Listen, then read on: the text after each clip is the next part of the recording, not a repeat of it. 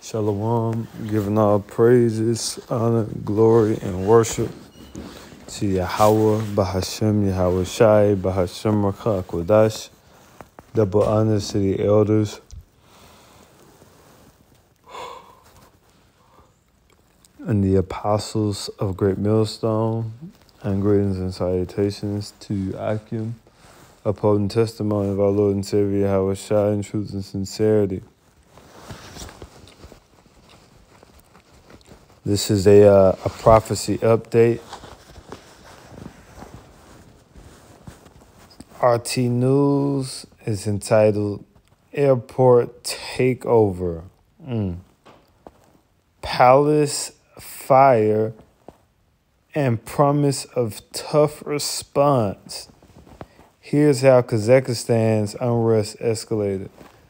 And so what what we see transpiring currently in Kazakhstan is something in which originated from a hike, uh, I guess an unreasonable hike in gas prices, which began or it initiated protests, civilian protests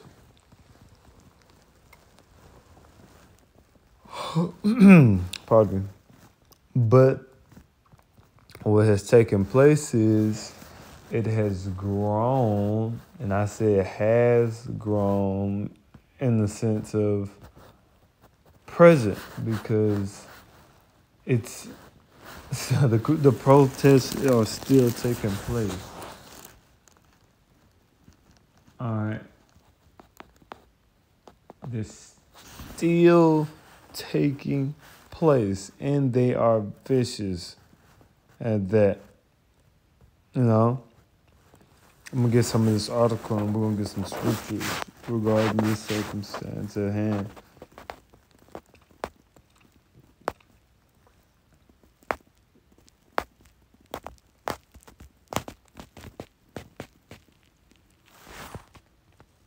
Let's see here. All right. So this is RT News. Airport takeover, palace fire, and promise of tough response. Here's how Kazakhstan unrest escalated. The Central Asian state country,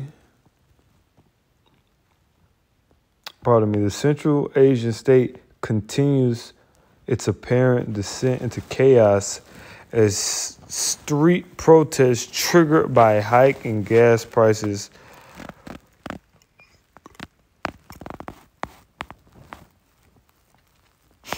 grow increasingly violent.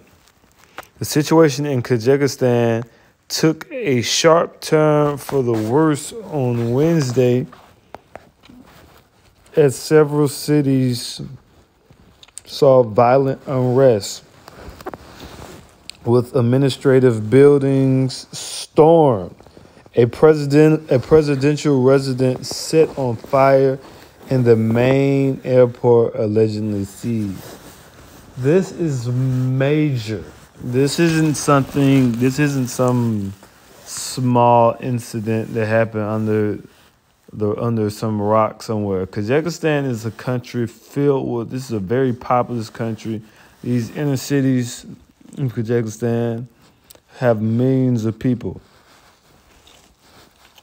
Millions of people. It's a country that borders I, Afghanistan. It's in that um, eastern portion of the Middle East. And um, yeah, how about Shemi Shah is doing this? You know, the Heavenly Father, he he's doing this. It's him who uh who's calling the shots. All right. And he's controlling the mind of the protesters. And he's also controlling the, the mind of the leadership. Now, it's been in that uh, the they have uh, contacted and communicated with the Russian essentially Rus- Russian forces uh, for pe- peacekeeping endeavors. All right. And what is that a fulfillment of prophecy? Oh, pardon that is a fulfillment of prophecy, but what prophecy is that a fulfillment of?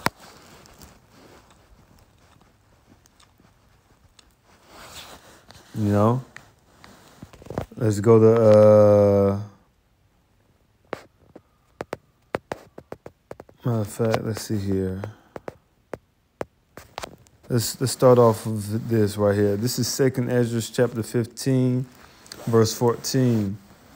It says, For the sword and the destruction draweth nigh, and one people should stand up and fight against another, and swords in their hands, for there shall be sedition among men and invading one another. They shall not regard their kings nor princes. And that's what we see taking place in Kazakhstan. It says, And the course of their actions shall stand in their power. Now, I was just recently listening to this video that you see right here. Not going to play it. It's about 20 minutes. It's a news video based upon what's going on. And it says that uh, it's bad out there, man. Like it's, it's basically like chaos and anarchy in these major cities where the police and the governmental forces have no power and jurisdiction. The protesters have taken control. All right, this is this is heavy. This is how this is how regimes are toppled and things of that nature. So this is not a small circumstance and we see the Russians being a, oh that's exactly what I want to get.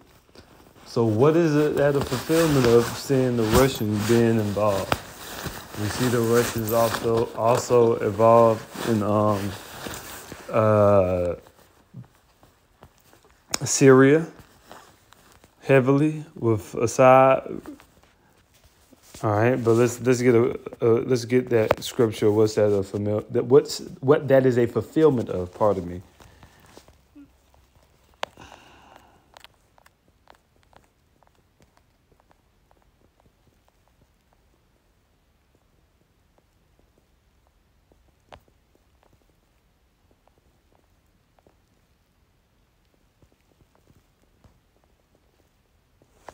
This is this is the book of Ezekiel chapter 38 verse 1. And the word of Yahweh came unto me saying, Son of man, set thy face against Gog, the land of Magog, the chief prince of Meshech and Tubal, and prophesy against him. And who is that? Let's talk about Russia. All right, Russia is that Gog, is that mountain. All right. I'm gonna um, skip down to verse. F- well, uh, yeah, I skip down to to verse um, three. It says, "And say, Thus saith the Lord Yahweh." And whenever you see the all caps, whether it says Lord or God, that's in the Hebrew is saying Yahweh. It says, Behold, I am against thee, O Gog, the chief prince of Meshech and Tubal. So the Heavenly Father is against Russia. All right, verse 4 And I will turn thee back and put hooks into thy jaws, and I will bring thee forth. And what he did is, from the fall, the Lord allowed Russia to fall as the Soviet Union, all right, but he's bringing them back now onto the playing field, all right, being a guard unto these um, former satellite states, all right, and other states further, further, all right, and we're going to read that actually right here. It says, um, I will bring thee forth in all thine army, horses and horsemen, and all of them clothed with all sorts of armor, even a great company with bucklers and shields, and all of them handling swords. And this is them being brought to Armageddon, and Russia will lead. And this is the start of that. Verse 5 Persia, which is are the Iranians, Ethiopia, which uh, uh, Somalia, Eritrea, actual Ethiopia. All right. It says, and Libya with them, which is North Africa. It says, all of them with shield and helmet. All right. I'm going to go down to verse 7. This is the point.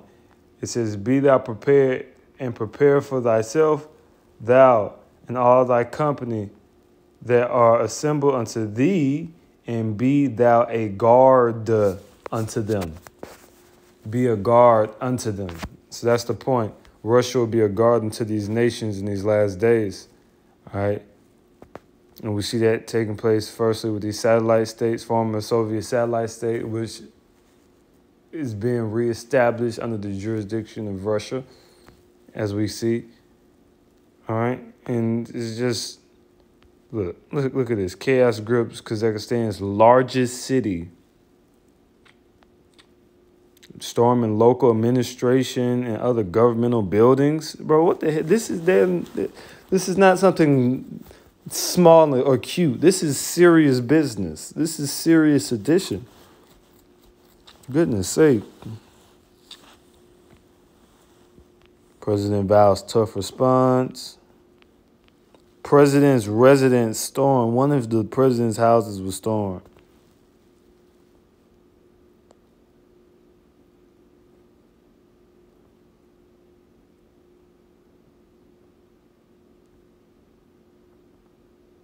Bro, they set the building on fire. What the hell?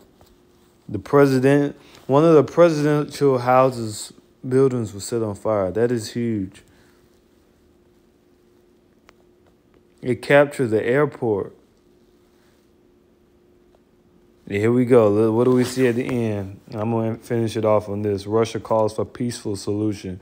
Mos- Moscow broke its silence on the situation in the former so in the former Soviet Republic on Wednesday. That's perfect for what we just spoke about. With the foreign ministry urging all parties to show restraint and seek a peaceful solution to the crisis. All right? And this is what is said, and there will be no peace. there will be no peace, only war until the coming of our Lord and Savior and the establishment of the kingdom of heaven. So with that, I'm going to give all praises, honor, glory, and worship to Yahweh by Shemiah Shad, the abundance of the elders and apostles, millstone, citation to you. I can shalom, keep the faith.